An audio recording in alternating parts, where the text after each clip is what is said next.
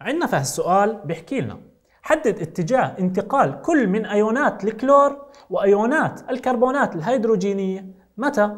في أثناء انتقال ثاني أكسيد الكربون من الدم إلى الرئتين. الآن اتجاه انتقال أيونات الكلور. طبعا أيونات الكلور راح تخرج من داخل خلايا الدم الحمراء إلى بلازما الدم. متى؟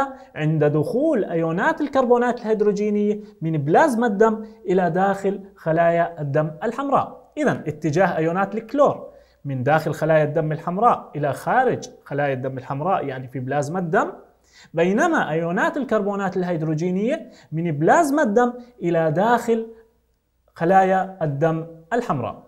هيك بنكون عرفنا اتجاهات انتقال كل من أيونات الكلور وأيونات الكربونات الهيدروجينية.